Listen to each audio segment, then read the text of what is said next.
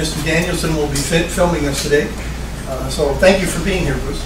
I'm Ann Tornberg. I was elected state party chair at the end of 2014. It's a four-year term that started in January 2015. Um, We're family farmers just south of Beresford, and I'm a retired high school English teacher. I taught for 32 years before I ran for office myself and then got involved in, in politics with the Democratic Party. Um, I brought several of the guys from staff here. Ben is our field director, Sam does compliance and events, and Aaron is communications. And we all graduated from University of South Dakota. Yeah, right. I will hopefully in May, I'm. Uh, oh, and I, I got my master's degree from the U, so I, so we, we all have a connection to this place that we love in, in Vermillion. Um, I've been reflecting, as I think you have been on, on the election, and the last month hasn't been easy for any of us who followed the path of the election. But I wanted to make the point that really the 2015, uh, the 2016 election started in 2015. So if you go back to that um, legislative cycle in 2015, there were a couple bills that passed. One was Senate Bill 69, which we call the Incumbent Protection Bill, and the other one was teen minimum wage that followed right after the uh, 55% of South Dakota voters approved the minimum wage increase. So then we got busy as Democrats across the state, and especially in Clay County, because I know how many signatures you helped collect in this part of the state. And, and we got that on the ballot. It takes 5% of those who voted in the last gubernatorial election to get something on the ballot. So, so we did that collectively together, and remember, both of those passed. So, so that means that those laws did not come about, and we actually figured we saved about 25,000 uh, South Dakotans from getting a pay cut in 2016 when we all cast our ballot against that teen minimum wage. So it, it was an important accomplishment, and we, we sometimes lose sight when we only focus on presidential or legislative politics. In 2015 also, and by the way, referrals have to be done 90 days out of session. And you've got a pretty strict timeline of how fast you have to get those signatures. Then also in 2015, we, we paired with South Dakota Farmers Union, got Amendment T, which took 10% of those who cast votes in the gubernatorial election, and that was on the redistricting. That was an important one. We feel should have passed, and we're going to have to keep talking about that, what version of that might come out that we can work on for 2018. And I know many of you worked on payday loan issues, you worked on initiated measure 22, which did pass, and you were involved in so many of those uh, initiated measures and constitutional amendments that, that went forward. We uh, started in 2016 by working on, on um, a lot of legislation, including an ethics commission at the state legislature that did not pass. And so then we know that that translates into the follow-up that we're going to have to do to keep IM 22 going. And there's a lot of movement already to uh, obstruct that or redefine it or challenge it in the courts and all of that that will happen.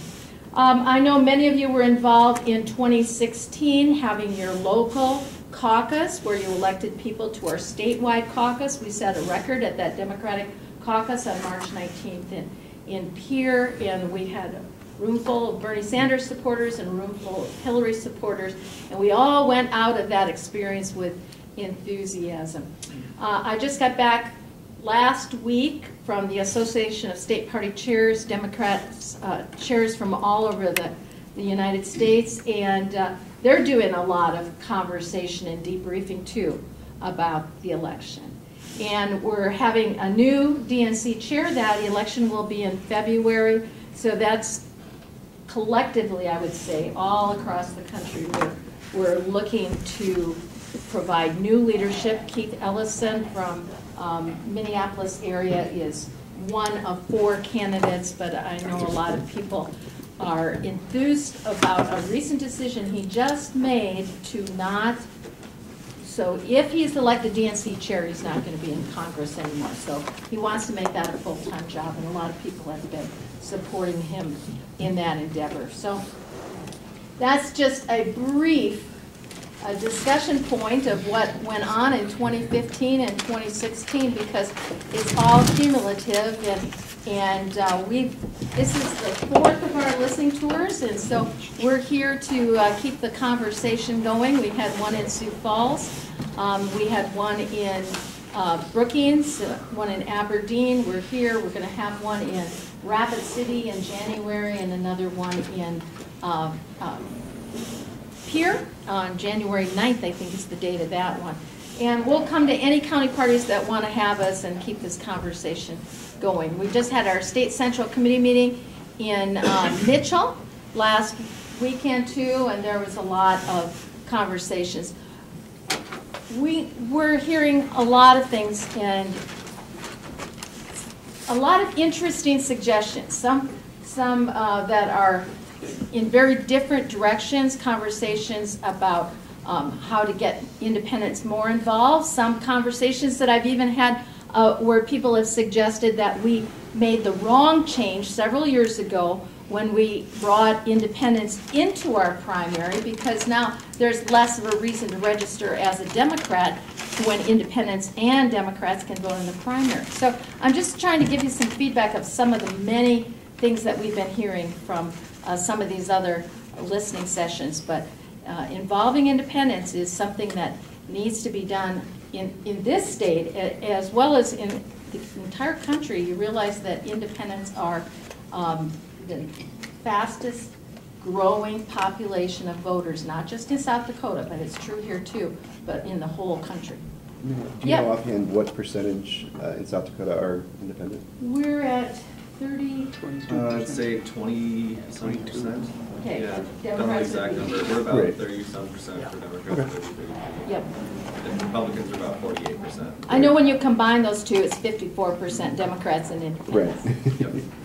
Okay, so I'm just gonna um, give you an opportunity to talk. We have Bruce who is uh, filming here, and this will go out on your blog, right? Yep. Okay, so just keep that in mind as you make comments. All right. You know, I think I'm gonna kick it off by asking some of the candidates that we have in the room. I want to thank you for running, and I want you to uh, start us off, if you would, by describing your experience and, and uh, what the 2016 cycle maybe meant to you, or what you would do differently, or what you hope to do in the future. So, Jay, will you, will you start us? I will be happy. Let, let's all thank Jay. No, really, really an interesting experience, uh, running for the United States Senate. I mean, I, I got to travel all over the state, meet a lot of people. It was really, really an interesting, interesting time. And, uh, I thought, really, until nine o'clock at night on election day, I thought we were looking at a landslide election here for Hillary Clinton. I mean, I was just stunned by what, by what happened there. Uh, you know, Even in, even in South Dakota, I, I didn't think we'd have the kind of numbers we had, uh, against Hillary Clinton. So that, that, that leaves me stunned. Now, so what does that mean moving forward? You know, And I can talk all about the, the election experience. I gotta tell you, it was a really positive thing for me. I really had a lot of fun. You know, Carol went with me everywhere. and We really, we just, it was really an enjoyable and interesting time. The election results, though, were stunning. And, and not, not even in my race. I mean, you know, you had to believe in South Dakota, it's very hard to defeat an incumbent uh, uh, senator like Senator Thune. And he, and you know, and he's not a bad guy. He doesn't say crazy things. He's not one of the really bad Republicans. But the national race just, just left me stunned and, and, and trying to think, what, what, what do we do? Because, you know, I just, we of course want him to do the right thing and to move our country forward and to be a good president. I mean, we, we all want that. Will that happen? It's hard for me to believe it will because he seems like such a bad guy. But one of the things he could do, I mean, he's, he's a business guy, a pro-business guy. One of the things he could do is he could move to replace Obamacare with Medicare for all, which would be a great thing for small business. Because, you know, when a businessman wouldn't have to hire people anymore and worry about health insurance. So he might do things like that. Let's hope he does. Uh, If he doesn't, well, that's what we're for. It it is our responsibility, every, everyone, every American citizen, but certainly every part of the loyal opposition, which I think the Democrats are, is to, is to watch what he does, and when he does things we agree with, right along.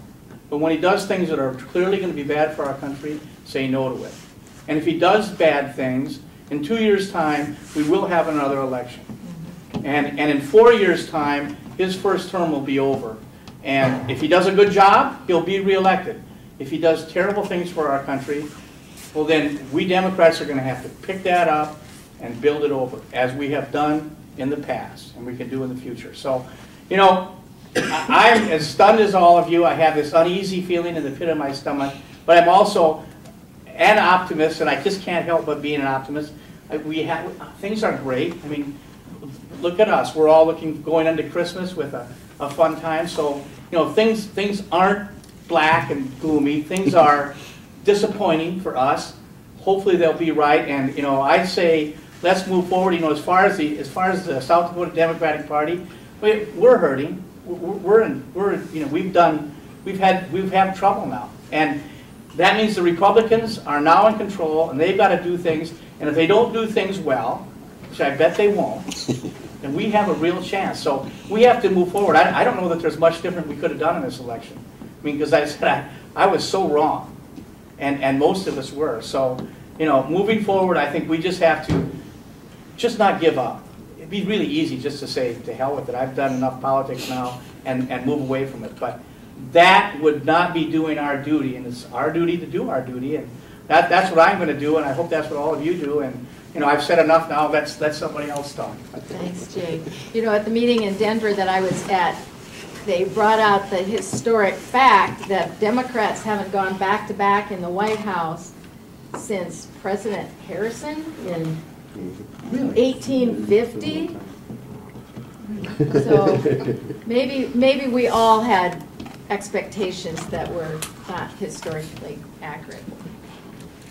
So, But you know, FDR, yeah, well, there you go, I mean. back to back to back to back. Yeah, right. Yeah, Obama. Dif- term. But different people. Yeah, yeah. Different people. But even Um, then, Truman was elected after that. Well, Ray, there's no one better to give a, a, a report on the upcoming session or to reflect on the election than one of the s- Democrats that got reelected. Will you, will you share your thoughts with us?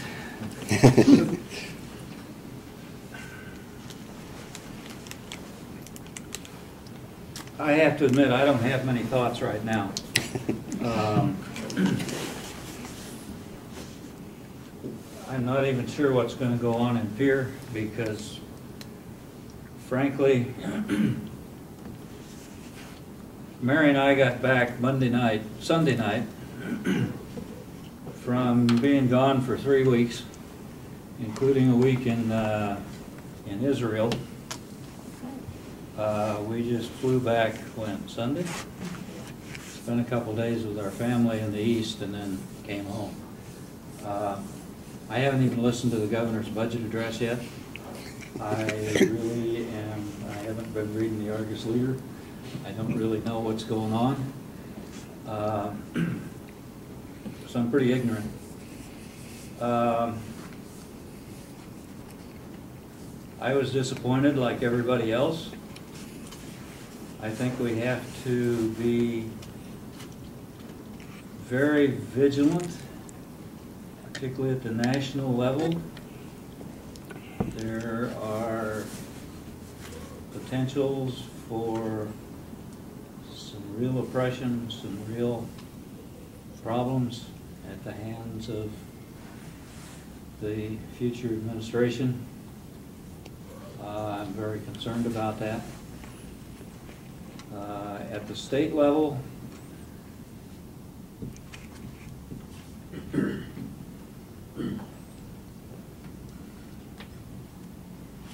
I think we should come back with uh, pushing still for Medicaid expansion. I know uh, in one of the interview, in a couple of interviews with, with Billy and with uh, Spence, that they said we weren't gonna push for that. Trump has already said that he's gonna keep the kids up to the age of twenty-six. Trump has already said that he won't do away with the, um, uh,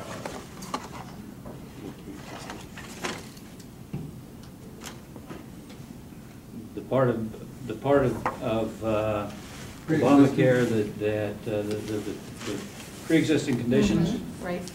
You can't do, and I'm sure there are people here who know a lot more about insurance than I do, you can't, you can't do pre-existing conditions unless you have some kind of individual requirement.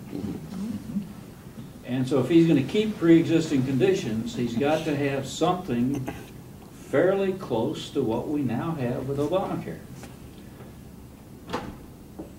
Unless he's willing to deal with the pushback from taking health care insurance away from twenty million people, including thirty thousand or something like that in South I Dakota. think twenty-seven thousand is the last number that I heard. Okay. Mhm. um, then he can call it something else, but we're, we're, I, I, I just don't see how, um, politically, they can take away a lot of what we've come to call Obamacare. Mhm. And for that reason, I think that Medicaid expansion isn't necessarily out of the, out of the question. And I think the Democratic Party, I think one of the reasons we've lost as much as we have in South Dakota and nationally is because we've abandoned, or at least look like we've abandoned, have been perceived as abandoning low-income and working-class people. And if nothing else, we can use calling for Medicaid expansion to hold the Republicans in South Dakota, hold their feet to the fire to some extent, and to reestablish our, the perception of the Democratic Party as a party of, of lower income and middle income and lower middle income people. Um, So, and I haven't had a chance yet to express my wishes, but I'm hoping that we'll continue to, um, to push for Medicaid expansion. Obviously, we have to continue to, to push for, for support for education. Um, And I'll, I'll certainly uh, be working on that. Um, I guess at this point, that's all I have to say. Give me a week to hopefully catch up with, with what's been going on in the world. Um, And I may have more to say, but um, I really do think that, that the Democrats have to reevaluate and seriously consider, both at the national level and at the state level, um, the message that we've sent. Um, We've got to change the perception, and I'm not quite sure how you do that. Um, I think the idea of a uh, quick response team, and there was, I think I got an email about that recently that I read quickly, and the- the one thing I saw about that that bothered me was then the response is gonna be, it sounded like mostly through uh, social media. We've got to get more out there in the newspaper. There's still a lot of people who don't rely that much on social media. Now, I know there's a problem with getting the papers to pick it up, uh, but there are ways that I think we can respond to some of the things that are coming out, um, to change, to change the perception. Perception. One last thing, and then I'll shut up. I think we should consider as a state party, I don't know how to say this, and I may get some pushback, but that's all right. Um, Somewhat separating ourselves from the national party. The National Party has a reputation that just don't, that doesn't go over very well in South Dakota. And that's hurting those of us who are running for office in South Dakota. And we need to look more like a different party than the National Party, I think, particularly on some of the issues. I'll stop there. I don't know if you remember, in 2014, we, we, we did a film called We Are South Dakota Democrats, and we tried to kind of make that image to disassociate it with a New York Democrat or a California Democrat, you know, we were South Dakota Democrats. And it was a, a conversation that we've been having for several years, so I, I'm glad you brought that up. You know, that was just one project that got started with that thought in mind. What is a South Dakota Democrat and how does that differ from other places?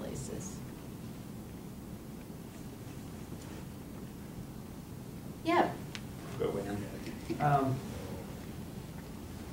I think we're at an advantage. Uh, For eight years, we've been on the defense, defending, you know, what's it, what's happening in Washington, uh, because our party was in power in the White House. Uh, We're now at a different point where the Republicans are going to have to defend their party. They're going to be completely Washington-centric. And now is the time where we as a party can pull our focus back to South Dakota and focus on our dying small towns, our roads and bridges, uh, filling our school boards, filling our city councils, and uh, our state house. So that's our advantage, that's our play, because Republicans have no choice but to pivot now to Washington. So we can focus our effort here, like Ray said, possibly take steps away from the national party, uh, just because they're going to have their own figuring to do. And uh, I'm not sure what we can rely on as far as money coming from there. We're going to have to raise it ourselves from members here.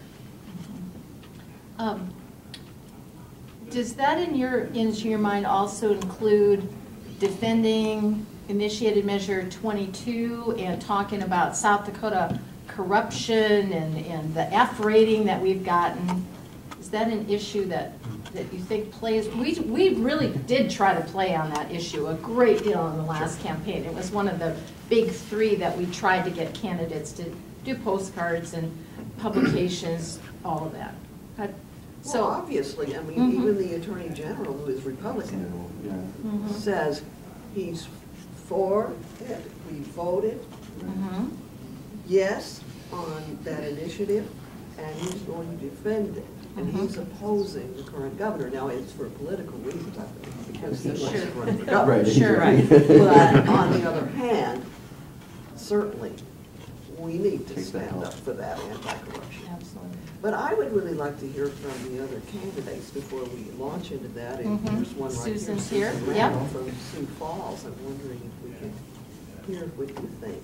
Um, I was very disappointed the redistricting uh, initiated measure went down.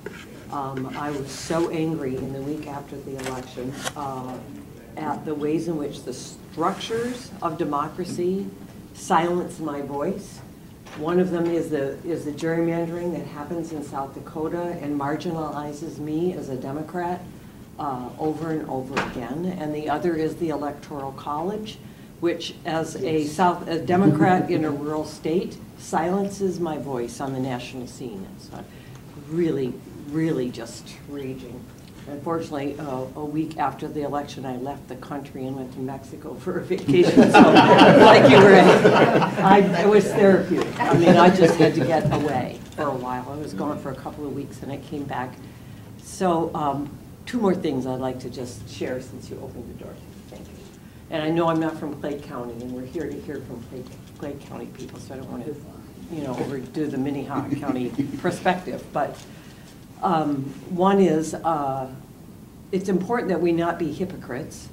Uh, I was worried in the lead up to the election that if Hillary was elected, that this uh, uh, white, uh, working class male uh, group that was so strong supporting her and that had been raging so much uh, on behalf of Trump would end up making it almost impossible for her to govern.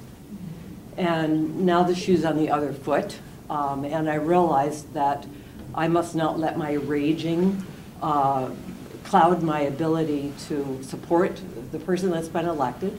That would be hypocritical if I did that. And so I'm, I'm going to try very hard to um, have uh, permission in my mind and openness to this uh, president-elect. And should he be seated, assuming he'll be seated and installed in January, then give him some, some room to, to- to govern. And um, I also uh, think that it's true that if, if he governs in ways that are just totally uh, against my values, I also have a responsibility to be an activist and express that. But, so that was, that's one takeaway for me. But then, one other thread that I'd just like to put out there is, I've been so disappointed in years gone by that the Democrats are not more prepared when um, the convention comes up with strong candidates ready to jump in on the constitutional offices. I mean, I know there's always the emphasis on the governor and that, but, I mean, I feel like we've walked away from huge opportunities for constitutional officers that would be strong candidates, well-funded, well-prepared, that could have won. We've had some very ineffective Republicans in constitutional office, uh, Jason Gant being one of them. And I thought what a huge opportunity that was for Secretary of State. And, you know, uh, thank you to the woman from Aberdeen who ran, but how much did we do ahead of time?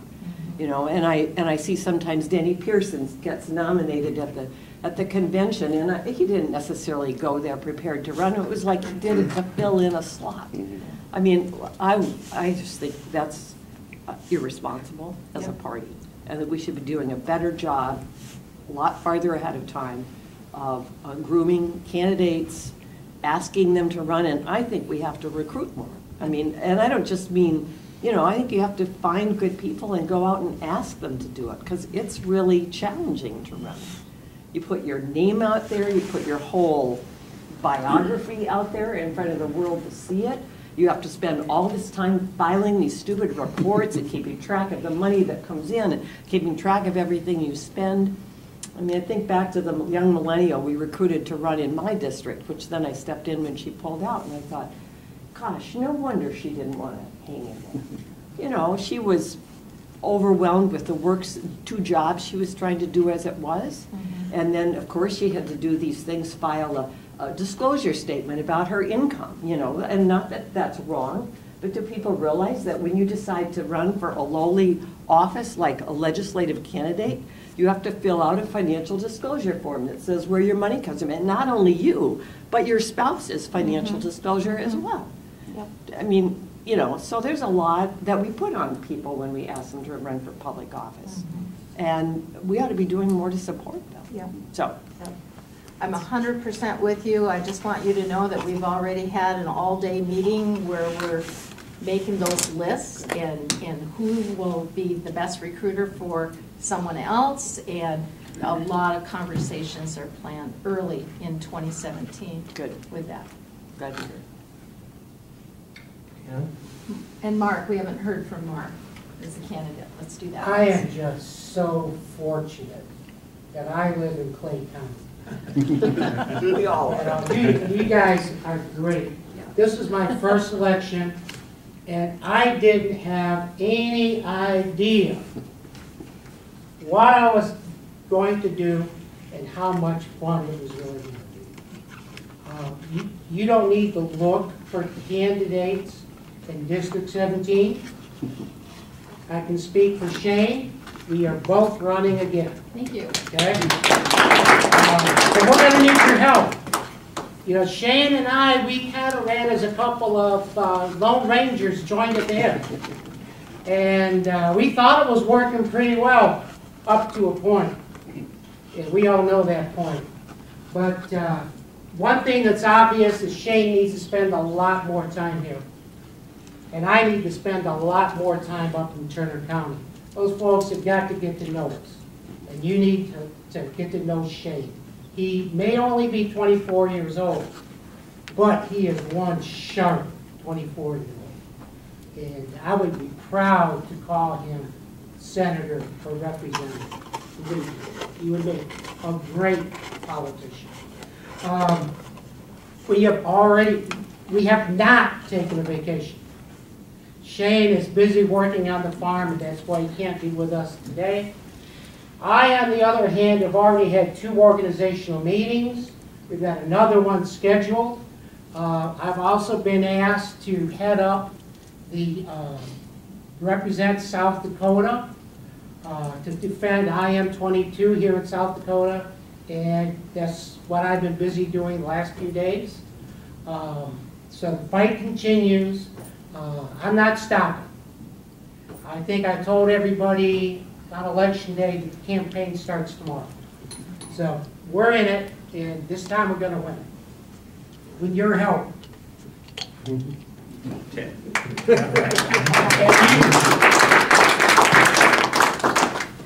And if that's a ray of sunshine, I, you know, Democrats do better in the South Dakota legislature and get more elected when there's a Republican president. That's historically true. So let's hope we can follow that trend moving forward.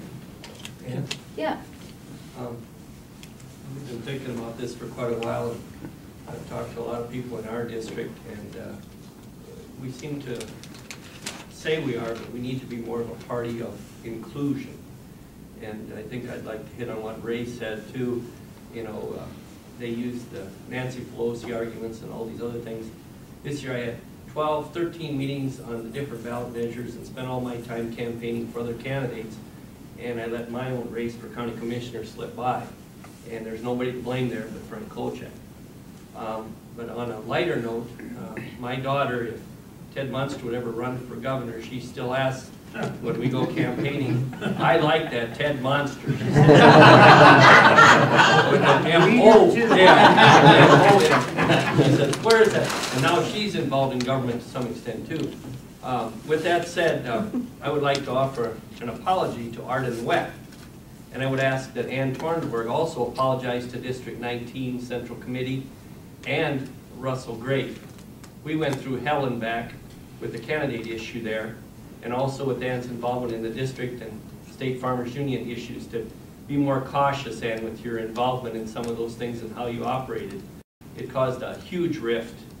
Uh, Arden had uh, decided to run for the House, and we welcomed him with open arms, and he was convinced to run for the Senate. Uh, The only problem was Mr. Grafe and others, including myself, were not convinced that he could win. When he did the switch, Russell decided not to switch, so Arden was left out in the cold. He could not go back to the House, he resigned, and then he went forward. And it's, it's caused a lot of hard feelings in our district, and in fact, uh, uh, we have the only organized county in the district, which Ann hopes to change uh, this year with her going around and organizing. So again, and I know there were hard feelings, but we need to heal it up, and we need to move on from that and learn our lessons. And I don't know how we can ever do that, because I think Arden's gonna dislike me till the day he dies, because we said no. And guess what? History was right. Arden probably would not have won. And we saved him for another day, because he had mentioned to us several times this is his only time he's gonna run. So I don't want to belabor the point, but there's a huge disappointment with how our District 19 Bon Homme Democrat Central Committee was treated on this, and, and I guess how Russell Grafe was treated. And, uh, you know, he was a fill-in candidate, but he decided to stay on. Well, that was his choice to make, and uh, we kind of jumped I ship. and totally agree with that. of- We kept saying, but, but, as a and staff you too, made some comments to Russell after he made the decision that were not very nice. And things that were said in the heat of the battle, and it would just, and I try to be, we try to bring people together. That's our point. We just need to get by this and try to bring people together back again, instead of, you know, kicking people under the bus. Well, this guy ain't important, he's just a fill-in candidate, he don't give it. I, I Yeah, well, disagree with that No, I'm not, entirely. yeah, but anyway, Entirely. we need to have Arden, do you want to? some kind of Respond? inclusion on this thing and, and get past it. Okay. And I don't know how we're gonna do that, but it really made our central committee members and Democrats in our area, uh, kinda upset, so.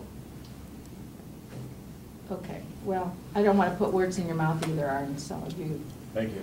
okay, all right. Thought- Thoughts about the party? Mm-hmm. Oh, and one last thing, the Attorney General has to defend the ballot issues, that's his requirement under statute. So when we pass something, that's his job, whether he agrees personally with it or not, he has to defend it, he can't say no. Well, I still thought his, Comments were well received, yeah, yeah, his deputy gave good positive. comments, yep. Yep. uh, on another note, Yeah. inclusion, Mm-hmm. that's very important. That is tough.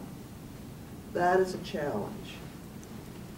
We need to make real efforts, and I think this is in, um, not in opposition to the, um, country in terms of the Democratic Party of the United States, but in coordination with them to try to include more people of color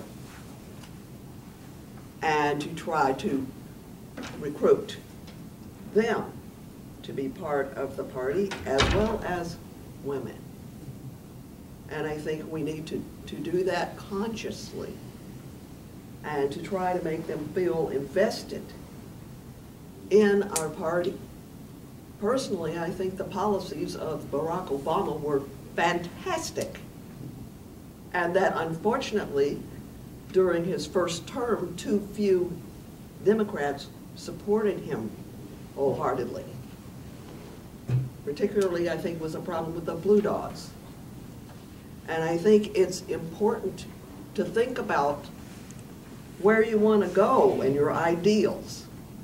And, you know, people who argue this is not what the founding fathers wanted, I'd argue back, well, it took over a hundred years for women to even get the vote in this country. Right. Mm-hmm. You Seven know, times that was on the South Dakota ballot. perfect. Yeah, seven times in South Dakota. And was on our so inclusion is very important.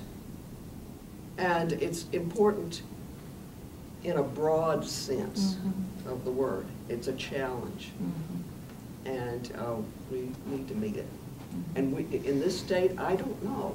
I mean, I know that Clay County and uh, the reservation communities generally vote Democratic, uh, at least West River. I don't know otherwise how, how that turned out this time. And so the Native Americans are our largest uh, minority group and uh, I think to a great extent, the Democrats are reaching them.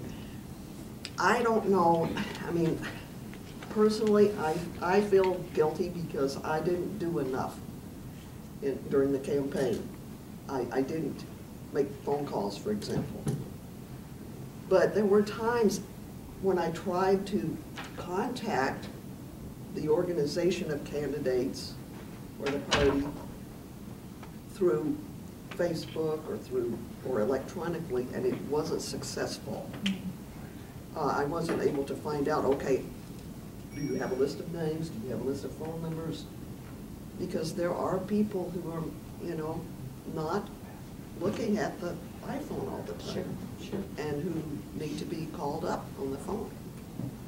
Um, We don't, we didn't have an office here in town this time, like we used to in the old days. We used to have a Democratic Party office.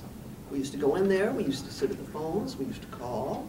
People could take their cars, go pick somebody up, take them to the polls. We didn't do it. You know, so I think we've become too passive and too likely to just, you know, stay home and let somebody else do it, and then Well, and we really relied on federal positions. When Senator Daschle, he had offices around the state, Senator Johnson, I- you know. So then local county parties tended to move in those offices to help with volunteer too. And- And since we don't have any federal positions, that is a great struggle for us statewide. At our state central committee meeting last weekend, we were talking about offices or a West River office or West River staffer.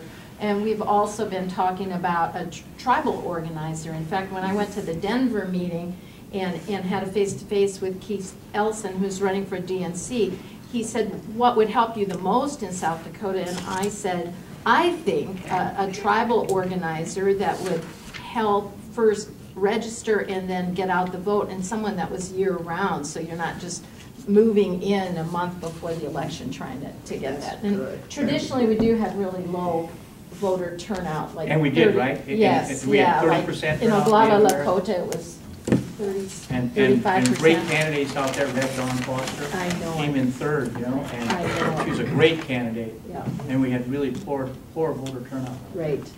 That's really unfortunate. And we worked really hard on a specific issue out there about uh, one of the voting locations, trying to get it changed, and uh, took it all the way to a, a meeting of the county commissioners in that county to ask for a relocation. The Secretary of State led it up to their county commission, and it didn't get changed. And that was, that was really challenging for us, because that was a county commission, all Democrats in that county on the commission, and they disagreed with changing the voter location, but we, we, Susie especially, our executive director, worked really hard on trying to get that changed, and I don't know if it was just uh, expediency, or they thought it would be more of a problem to change than to leave it where it was, but, but that was a problem in that, and that I believe directly affected voter uh, turnout in that county. But you know, the, the Native Americans, my understanding is, they have a very, very high voter turnout for tribal offices. So I've heard, you know, eighty percent turnout for those. So it's not that they're not political, it's Mhm. just that they're not, maybe they don't believe in our system or whatever, but Mhm. this is, it's terrible voter turnout in terms of an election that really means something. You know, So I, We have a comment back here? Yeah, hi there. Um, my name is Sandra Molman, I, I live just north of Vermillion here. Um, and uh, I just have a couple of thoughts and to jump off the inclusion thing. And um, I was really happy to hear about this listening tour. Um, and glad that you, that y'all came here for it. Um, and I, I just want to throw out a couple of ideas having to do with listening and inclusion. um, and um, the first one being that, I, and I may be the only one in the room, I'm not sure. Um, I was not at all surprised by the results of the national election. And I saw it coming from a very, very long time ago. And so, um, and our household had, had discussed it quite a bit. And, um, and I think that part of why people have been surprised has to do with the lack of listening. Um, I think that the Republicans and lots of what I one time considered Democrats um, that I listened to um, kept me in balance with what was going on. Um, most of the Republicans I know that voted voted against Hillary. They didn't vote for Trump. A lot of the Democrats that I know, um, the last Democrat on the planet they would have voted for was Hillary Clinton, except for the fact that she was running against Trump. Um, and so I'd love to talk with anybody who wants to talk about it later, you know, what I was listening to or why I, I seem to have been on track with that. Um, but I definitely think it has to do with listening. And I think that like it's even like nerve wracking for me to say this out loud in a Democrat meeting because I do notice that whether it's Facebook or any group of people that I'm together with who claim to be Democrats, they don't want to hear a whole lot about Bernie Sanders. They don't want to hear about why we're not into Hillary Clinton.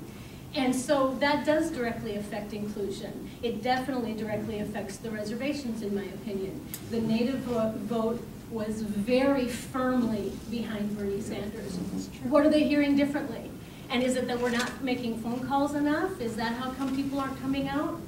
I don't, I really don't think so. I think that we are having a lack of communication um, and a lack of discovering what people need, what they're looking for, what lights their fire, what will allow them to jump in and be part of the system, not just be told something.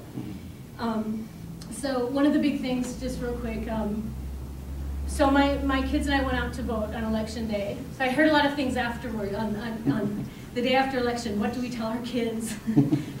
Mine happened the day we were going out to vote because we were already disappointed because our candidate didn't win. He didn't win in the primary, and that's cool, so we're still going out to vote. But one of the things that I told them was that I felt that on the one hand, for me, it was a good thing that Bernie didn't win because I think that we're under this facade right now that's not a very democratic notion, in my opinion, that we look for someone who's going to lead us. And I think that people would have voted for him, he would have won, but they would have voted for him and they would have expected him to change things and fix it. We need to encourage people to do just the opposite. Even though he was saying, I need all of you, he wasn't saying, be with me, like lots of other candidates are doing right now. He was saying, we are all in this.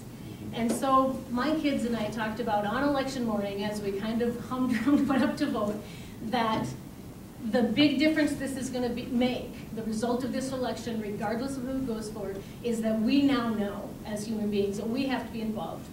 It's only going to change when we're all a part of the system and willing to be that. And we constantly are looking at and having a dialogue in, in, in the Democratic realm right now. I don't know a whole lot about the Republican.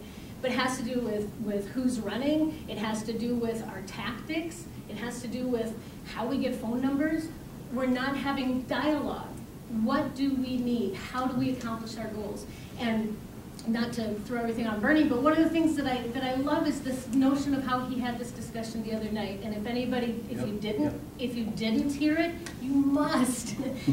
Where he talked to Trump supporters and other people and, and specifically said, what are we not understanding? What do you believe you just voted for? What, where is it different? And it turns out, just as he has also been saying, most people want what I used to believe the Democratic Party wanted. I wasn't so sure of that by the end of this election. I think that for the first time ever in my life, I considered perhaps I'm not a Democrat. I'm not sure what is out there that I am, but that was a huge shift for me.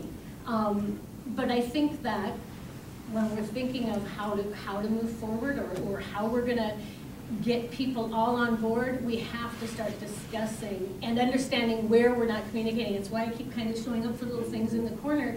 I know I'm not the person that right now everybody wants to hear, and certainly during the whole Hillary thing, nobody wanted to hear what I had to say. It was, and it was really daunting. Um, I felt, and I could understand also um, why we are not hearing from the Republicans. Um, and this was a huge thing for me. I have a lot of family that's Republican. And I'm like, why are they not the ones out here speaking when I know they're voting for Trump and, and horrifically? I mean, they don't want to vote for Trump. I know that the, you know, like, why are we not hearing from them? And then as soon as um, the primary was over, um, and I was trying to voice my opinion, and I got so shut down, and people were so not wanting to hear what I had to say as a non-Hillary Democrat who's very passionate about what, what I think needs to happen in the country. Um, and so where are we shutting each other down? And I felt it huge for the first time ever. And I do think that, that whether it's on the, we can say we're, we're going to be inclusive. That means hearing things that we do not agree with and finding where this lands and understanding that maybe I'm okay to be this kind of Democrat, but these guys desperately need this other kind of Democrat. Is this who we're going to fight for then? Or are we going to stay kind of comfortable? Um, so I think there's a lot of really deep issues, but I also think people are, we're in a time where we have to act, and we're also in a time when people are really desperate to. They're desperate to make a difference, in my opinion.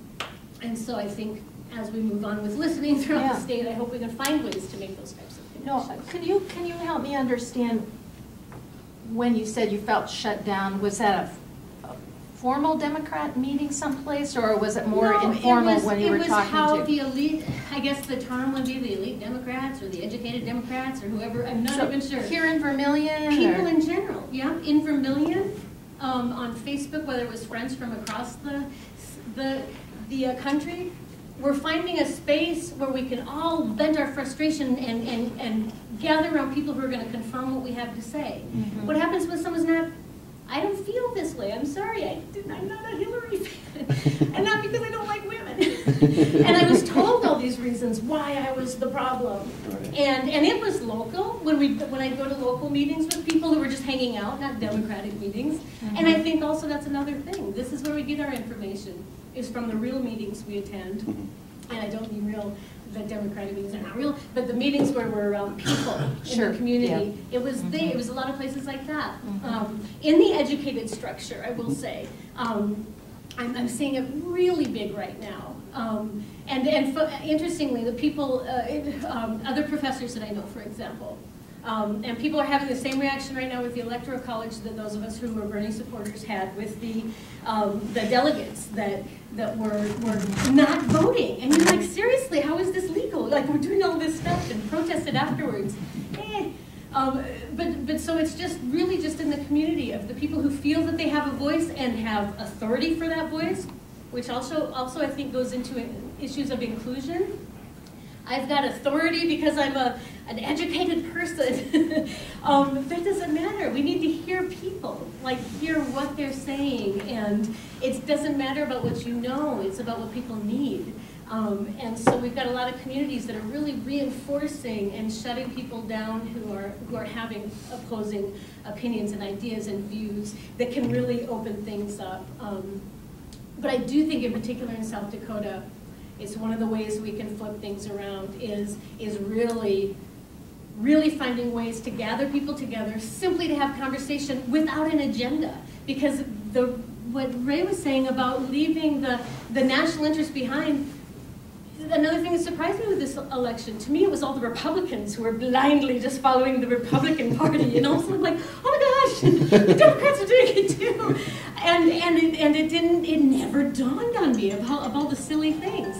Um, but I think that that's some of the issue is that I am not just a blind Democrat who's going to say, everybody's telling me to vote for Hillary, so that's what I'm supposed to be doing. Or this is, I guess, where, where our future is. And I do think it's very different in, in, we have specific needs in South Dakota that we can tap into, that we can communicate, and heaven forbid, for the goal of actually improving the community, not the goal of getting elected, and not the goal of being a part of some big uh, kind of fabricated reality, because these political parties aren't, they are created, right? they're, they're just created um, externally. So if they're not fulfilling our needs, then they're not fulfilling their purpose either. Um, so, I mean, I, I think that, that that all ties in together. We can't just say simply because Democrats have, you know, and again, like what are the ideals? It's not just about the ideals. Where do they on the ground to make a difference? Um, we hear the rhetoric, and if you saw the Bernie chats that they did, they talk through all the rhetoric. Words only have meaning in context to what, what we all believe them to be.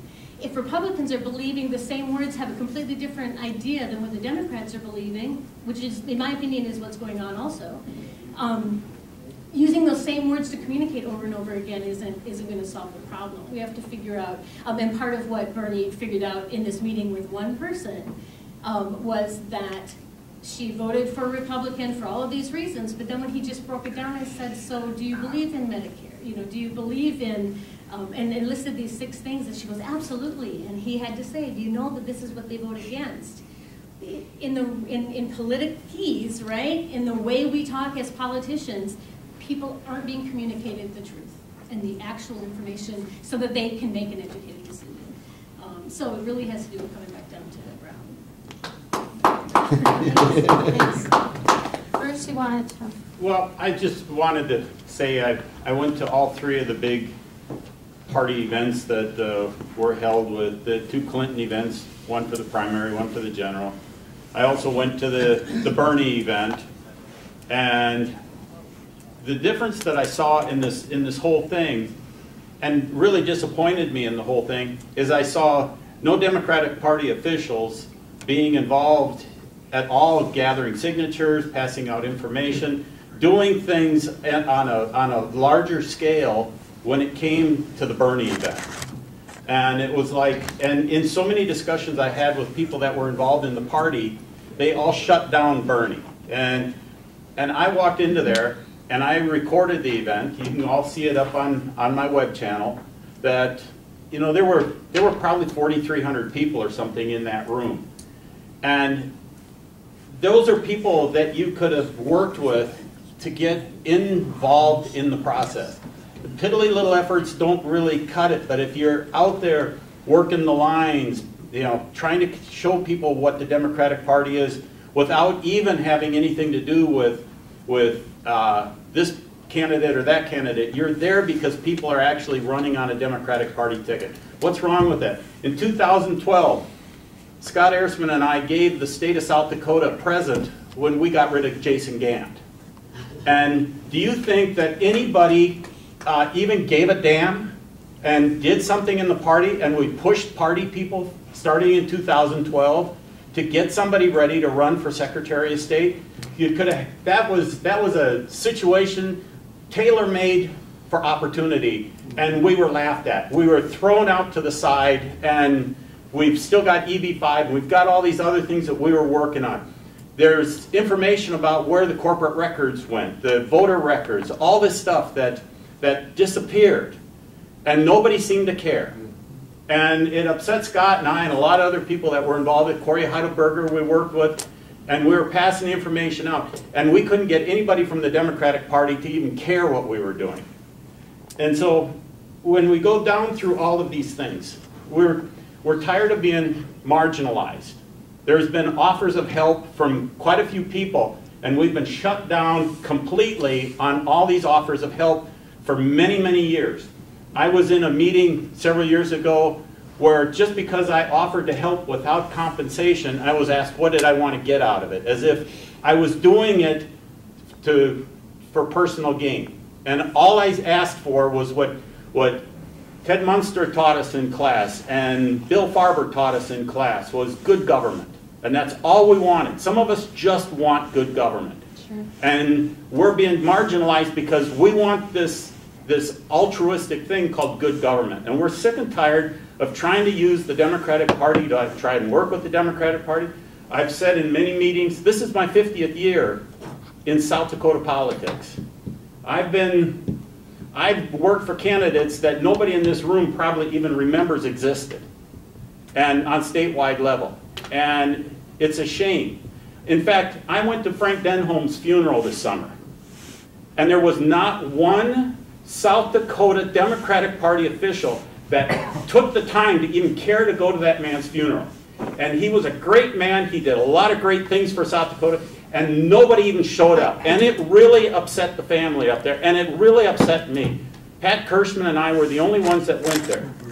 And that was, Yeah, there were, there were other Democrats They- there. they- And but I they- couldn't personally be there, I was, I was out of there was nothing there that showed that anybody was there, and the family would have loved to have had some kind of an expression from my conversation with, with a few of them. And there was nothing there. And that, I mean, these are just things we, that, it's like all these people have been thrown to the history books, and nobody wants to have anything to do with them. So I'm gonna get off my high horse, Well- and I, and I wanted to throw this out there. That man's done a lot for this party. There's a lot of other people that have uh, done a lot of other good things for the party. There was the Kneip statue event that happened, and we were told to not even bother showing up. And we, you know, and I we asked. I was there, I don't know who would have told we, you that. We were asked, we asked, there was groups of us that asked to be part of that because we wanted to be part with the Kneip family of this wonderful event that we were all part of in the 70s. And we were successful in the 70s because we did things that were unconventional. And all I'm seeing now is we play Facebook games and everything else that don't amount to a hill of beans. There's, we have to get back out and we have to do grassroots like this group, you know, that we've got running the party right now and nobody seems to want to care about. Nobody seems to want to get out there and actually do hard grassroots stuff. Jay and all you people that ran this year, I admire you all for the efforts you put in there. But there are people that have run, and since 1992, I've tried to collect the, the data from each of the campaigns before it got thrown away. At the end of campaigns, I find people throwing away all their data. The state party threw away their data, and so we have no historical data anymore from inside the party. And for somebody like me that's a data miner, that's a gold mine for information to, Yeah. to build on, and stuff gets thrown away. We- And we're tired of it. Yeah. So I'm gonna stop do- now and thank do- you. I, I don't want to leave you with that impression that that's what happens to data. I'm sure that you're justified in those comments about data had a lot of ownership, like through the Tom Daschle campaign, and state party didn't necessarily get shared with that kind of data in '04. Um, But we give our candidates, any legislative candidate, for example, a hundred percent rebate of the hundred and fifty dollars that they put in to own our data file, our vote builder file. And um, so a lot, I was a candidate too, and I, and so the last several cycles, I re-enter everything into it. And that data isn't perfect, but it's as good as all of us collectively re-enter data into it. Any county party has free access to that.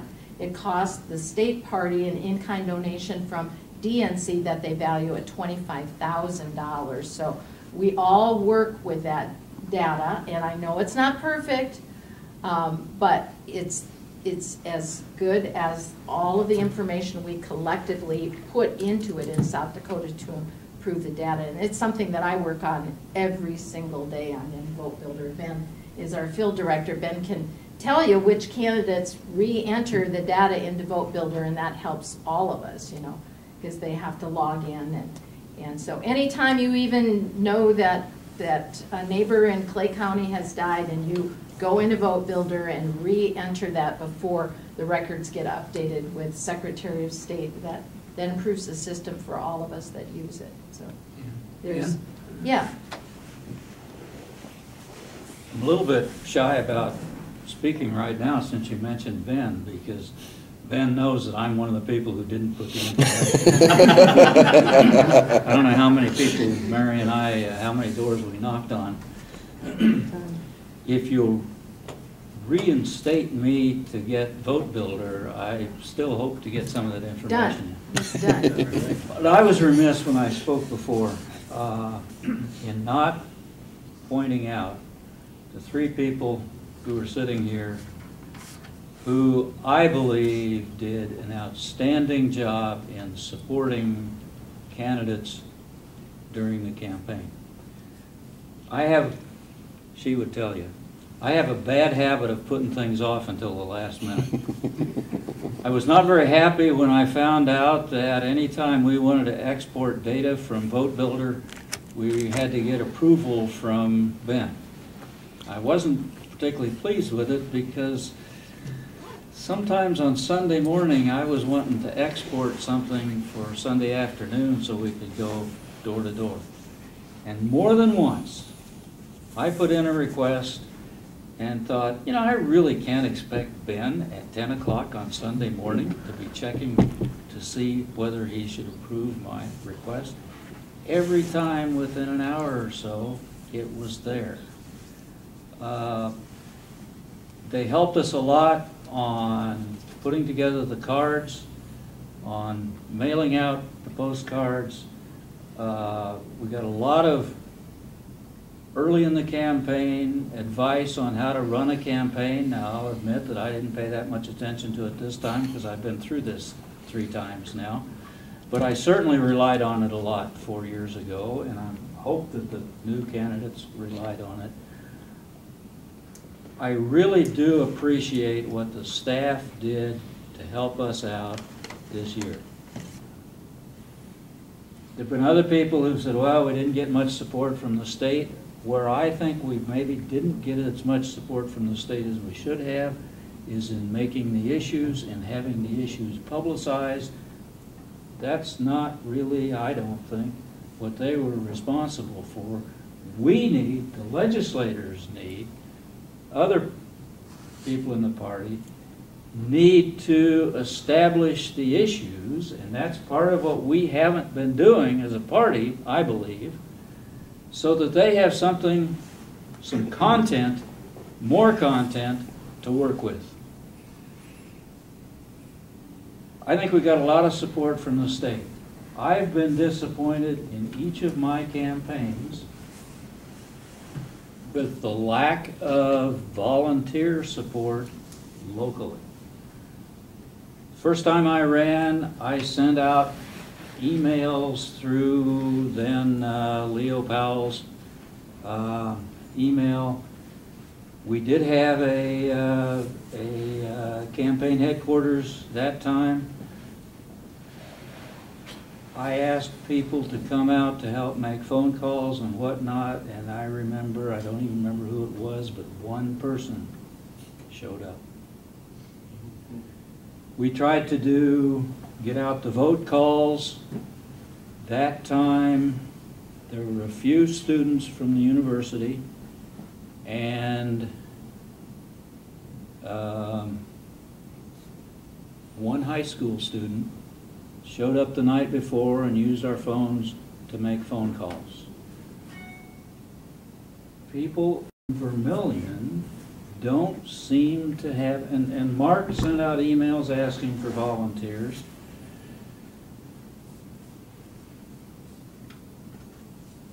You know, I, I'm really glad to see this many people. I hope you're sending around a, a, a, a sign-up sheet. It's here. Oh, it's If you haven't signed. That's what I get for showing up late. time. I, I really was at another meeting, I wasn't, I didn't sleep in. Yes, I'm still trying to adjust to the jet lag, but, um, local people need to provide more volunteer support I, I didn't make much of an effort to get volunteers this year because it's been fro- so frustrating in the past.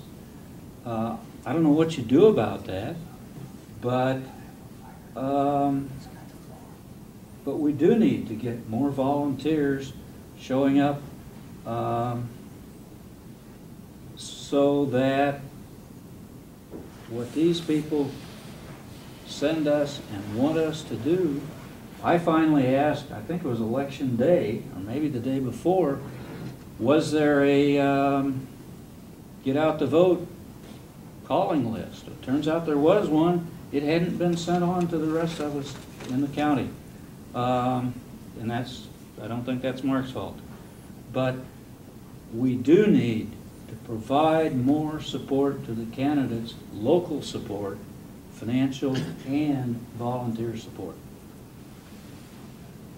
And thank you, guys.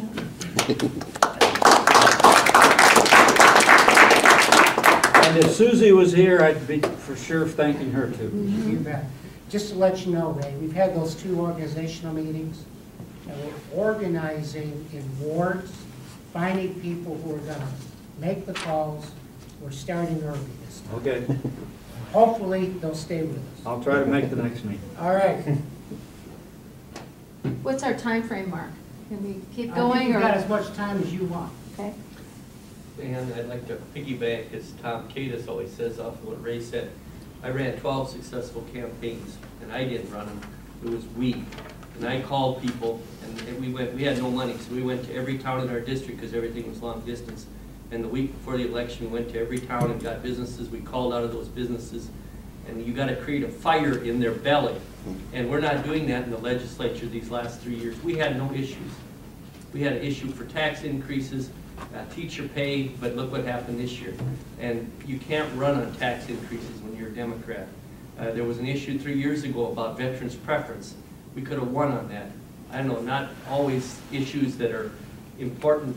We need issues like she said that are on the, that put a fire in people's belly, that they want to support. We can bring the Democrats and the independents and uh, moderate Republicans together.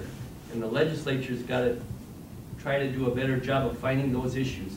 We did it with elderly nutrition when we took back the Senate. I want you to know Ted Munster is not an elitist, no matter what. He, he, he was more powerful than the governor of the state of South Dakota than tonight. He made the decisions that helped him be the great governor he was. We need to learn from what Ted did.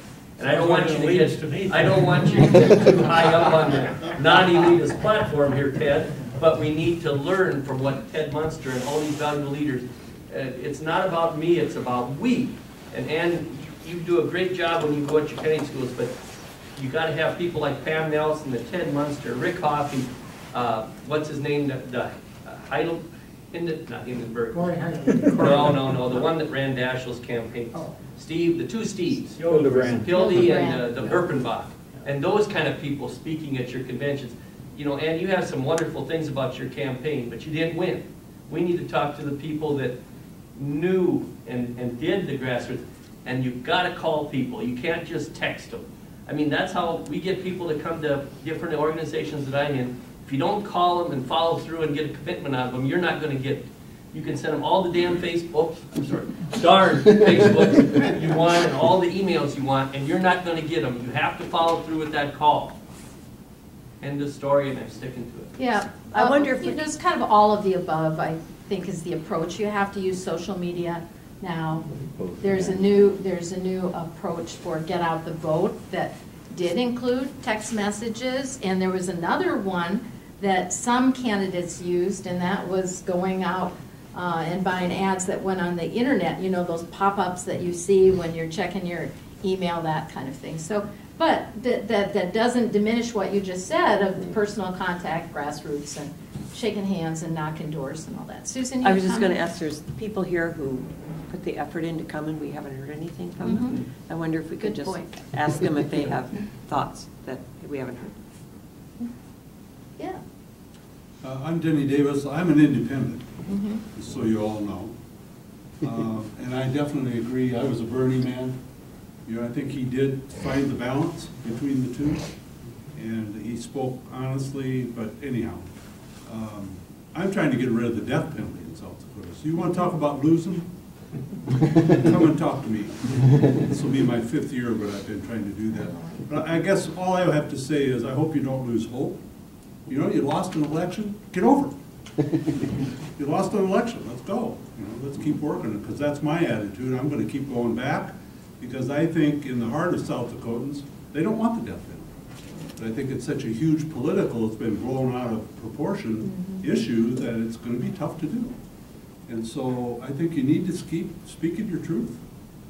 And I really agree with personalism. If you don't meet them personally, you're not gonna get them on Facebook, you're just not. And so, you know, that's, don't, don't give up hope. I was telling Ray this morning and Mary that, uh, I heard a quote from uh, Des- Desmond Tutu. You know, he was right in the midst of apartheid, talk about somebody that lost a lot. And a reporter asked him one time, you know, are you an optimist? And he had this big grin on his face as he always does. He said, oh, no, I'm not an optimist. I'm a prisoner of hope. So, you know, keep up the hope. I think that the issues that the Democrats have are uh, very, very, very important to this country. You know, from my position, I always look at issues from the bottom up. And I think that's what Bernie attracted. He talked to the people on the bottom. And they are the ones that are really angry. They're the ones that have really been treated unjustly, so. You know, I, I think your motives are great, I think your issues are good, I think your values are outstanding. Keep going. I mean, it'll come back. And whatever is happening with the current, or the, the future administration here, you know, if it's wrong and if it's gonna hurt the people, they'll bury themselves. It will happen. So I just encourage you. Thanks. Ted, you want to share thoughts with us? I've been out of this for so long, that I, I don't feel very relevant. I, am sure I can't live up to the reputation that Frank has been promoting here at Bruce. Uh, You're hired. Thank you, yeah. South Dakota will be better off when we have two competitive parties. And, uh, I think most people believe that, understand it. But it's not the Republicans' responsibility to give ground, it's our responsibility to take the ground. And uh, how we do that, I guess that's what this meeting's about. I, I uh, don't know that I have any particular insight. Uh, I haven't been to one of these party meetings for fifteen years or more, so. uh, That, if, if I may jump in, that kind of makes me ask, is there a specific reason that you come back now then? That Well, I, maybe I noticed, my key God, up? we're, we're down to what, sixteen legislators, something like that? That's right. And, uh, my wife's old Senate seat apparently is gonna be appointed by the governor, is that correct? District fifteen? Didn't he step aside now, or Reynold Nessbaum, or whatever his? He's still fighting. No, I don't think he's going to. He, Oh, he's okay. told me anyhow that he wants to serve on appropriations. Okay, well, it'd be tragic for District fifteen to have a Republican in the Senate. Uh, I'm just here to listen. I- One thing I, Ray triggered something in my memory is that forty years ago, the Republicans were such ill repute after Watergate, the Republican Party of Minnesota officially changed its name to the Mhm. Independent Republican Party of Minnesota. Mhm. And uh, that might be something for the Democrats to think about doing here, is the Independent Democratic Party of South Dakota. Great idea.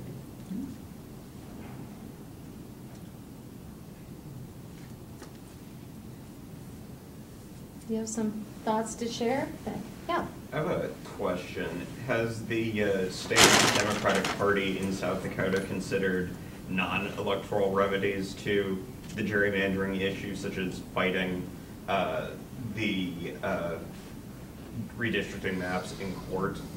Um, I know, for example, like, Yes. there was a fight over uh, the dis, uh, like the, re- the, some of the districts in Rapid City over uh, Native American representation, but beyond just challenging individual districts, challenging the whole state map. Right, right, and that, you're referring to a court case after um, the redistricting, which happens every 10 years, that went with the Voting Rights Act. Actually, Ben has got the board at the state office covered with some information about Wisconsin. Do You want to share what you've been thinking Yeah, about? So sure, so looking at what happened in Wisconsin, basically the way they formulated this court case is that there's a study done that standardized gerrymandering. Now, when we look at gerrymandering, the problem is we can all look at a map and say that this is wrong and this is clearly biased, but how do you standardize bias in a math equation? Because it's something you can't prove from state to state. Um, according to the study, the way they built up this very simple equation with a very simple standard, it passed through with a Republican judge.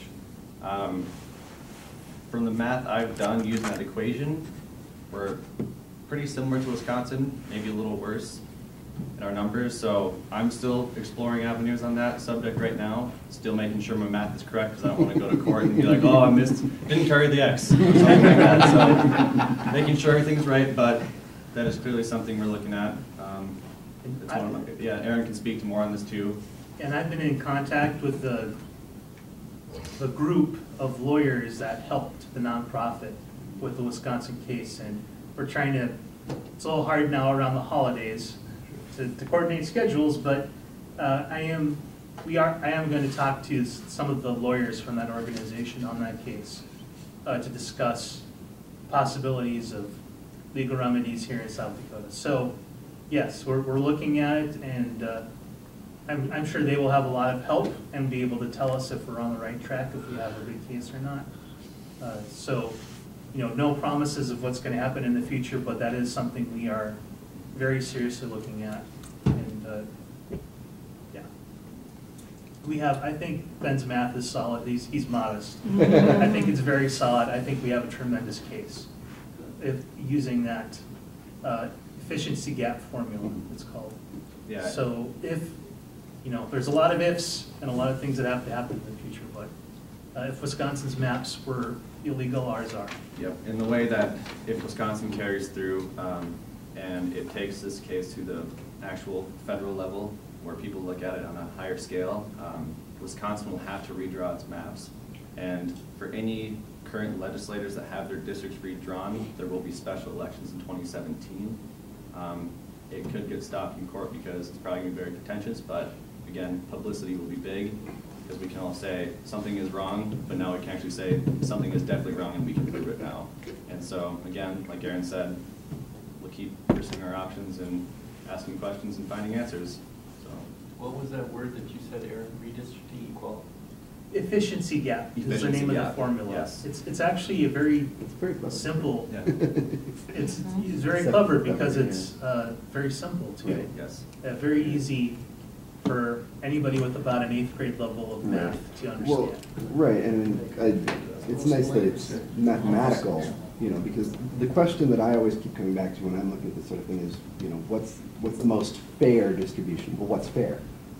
You know, are you talking about fairness based on demographics? Are you talking about party representation? Are you talking about, you know, any number of, of things that you could say, well, this is fair for Democrats versus Republicans, this is fair for white versus Latino versus Hispanic versus African American, whatever. Mhm.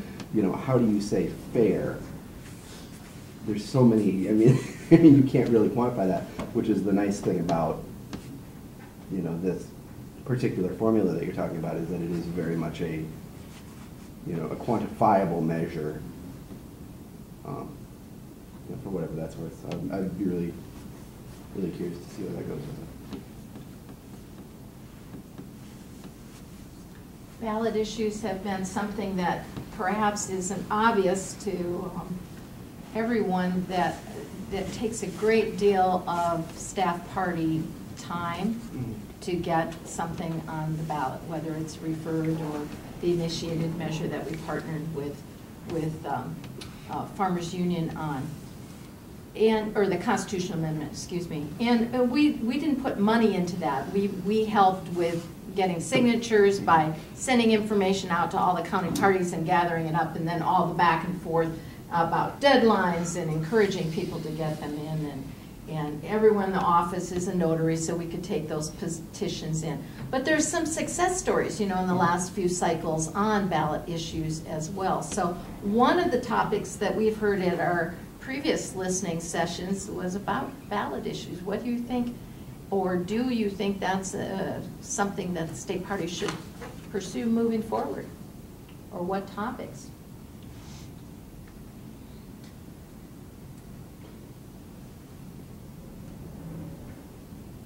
We, we gave a raise to about 50,000 people in 2014 when we raised the minimum wage in South Dakota.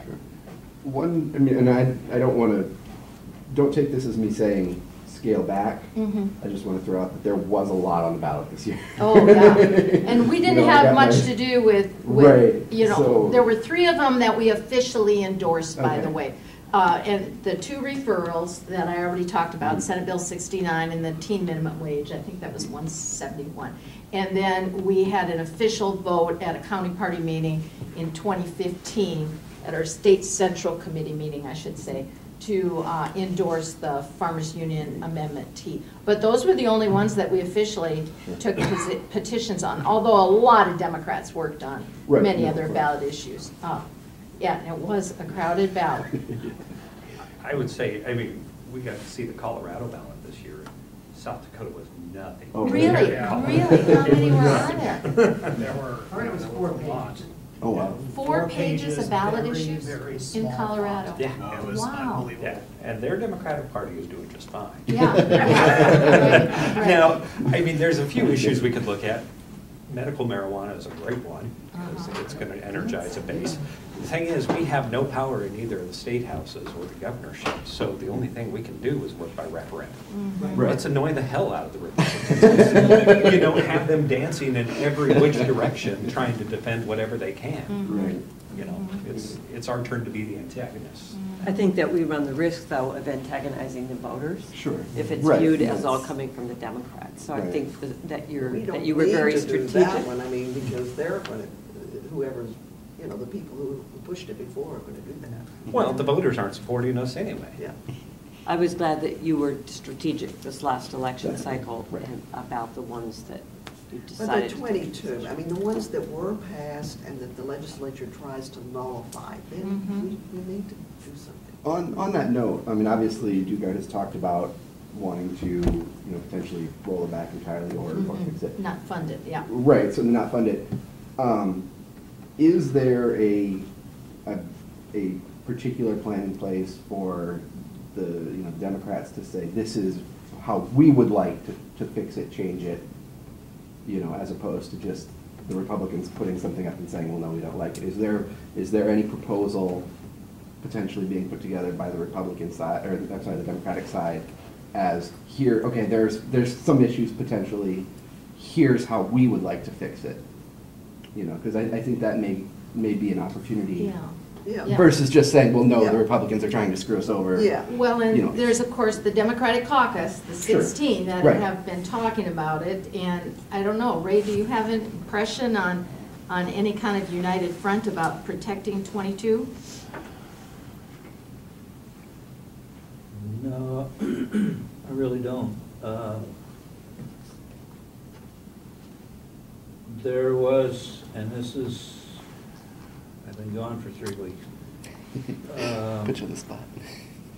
Spence Hawley called me and said that there was a movement afoot to have a special session to remove the emergency clause from that, which would give us then until July 1st to fix it. And he wanted to know if I would, would be willing to support that. And I said, yeah, that'd be all right with me. Because I think there are some problems with it Sure. that, that have got to be fixed. Right. Um, But I haven't heard any more whether. No, that didn't pass, and that's why Kristi Noem moved her uh, war chest, and Jackley did as well. Well, But- no, this, this was after, after they made those changes. Oh, it was after that. Um, That deadline Because it was pretty happened much several immediate. weeks ago. But uh, I don't think the governor called, uh, as far as I know, but like I say, I haven't even read the Argus for a couple of weeks. Yeah. Um, You didn't miss much. Aaron, do you want to respond to that at all about messaging? I mean, I would say in general, the state party is, is doing it, whatever we can on messaging to, to protect it. Well, it's something in our conversations with, uh, with Representative Hawley and and uh, Senator Sutton, the leadership, the branches, what they've told us, as to the best of my recollection, is there's consensus on fixing things like uh, clarifying definitions. Right, yeah, And, and that sort of stuff. Yeah. And I think uh, there'd be broad support for those sort of things, but on the other hand, there's also broad consensus in our caucuses that voters spoke. Right. And there needs to be, that needs to be acknowledged, voters weren't hoodwinked. Yeah, right, exactly, Mhm. Or fooled, or anything like that. Uh, So this is just kind of, a- and in messaging, it's kind of, this is just another example of Republicans not respecting the voters. Mhm. Like with the Definitely. youth minimum wage. So this is just another example of how we're out of touch. Now, we're gonna try to press that, and I think it sounds like the caucuses agree that that's an approach. I don't know if it's the approach, and, and Ray can correct me.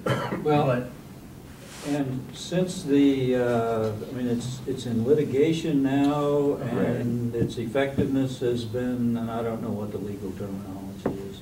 uh, uh, stopped, it's not taking effect. Yeah. It's been blocked from taking effect. So that would accomplish the same thing as what uh, Spence Hawley talked to me about.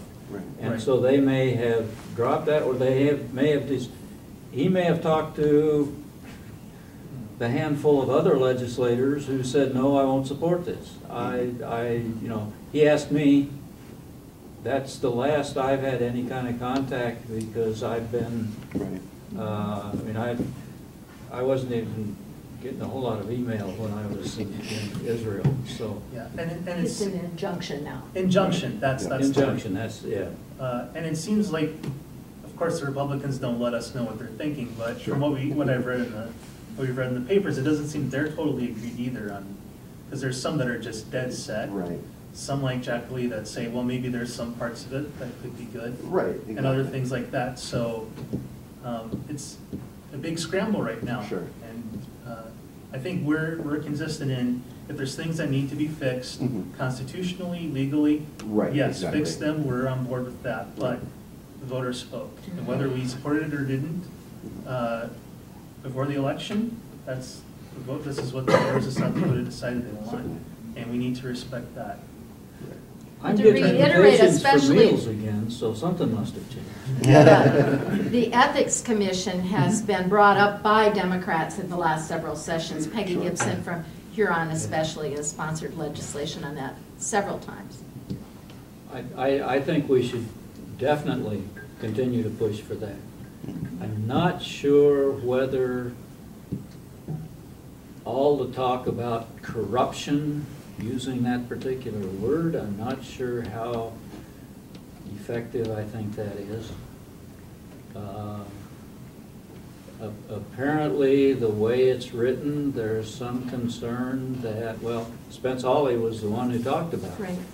Uh, One interpretation of the mass, measure that, that the voters passed apparently is that, and for those who don't know, Spence is a, is a, an insurance agent and, uh, has his insurance company in, in Brookings. And so he has some insurance policies with, um, I don't know if they're exactly state agencies, but the question is, are the premiums that they're paying for insurance, if they happen to be an organization that also has a lobbyist, is that part of the, part of uh, what the lobbyist is paying to spend? Right, and a conflict Because if interest. it is, Mhm. his means of, of livelihood is severely eroded. And he said, if that's the way this is interpreted, I'll have to resign from the legislature. And that's the sort of thing that I think most everybody agrees we need to at least um, look at it and, and, and see what the effect is and, and neutralize that. Uh, Now, I'm sure there's some Republicans who would just like to throw the baby out with the bathwater. Uh, And we're not gonna allow that if, if we can, if we can, can avoid it. Uh, But are so many of those questions that we were looking for a way to put off, because that took effect, of course, as soon as the ballots were, were, uh, were confirmed. And, um, so, again, I've been out of, out of touch, but I, I gather with this injunction that, um, it's no longer, I also got an invitation the other day that said you're welcome to bring your food along if you'd like to. Not, not everybody is trusting the injunction completely, so we'll see what happens. Well, we'll probably wrap up unless we have some other comments, especially from people that haven't had a chance to share. Y'all come back now, dear. Uh, Security, escort this gentleman out, please. Come on, Soda Pop, let's go.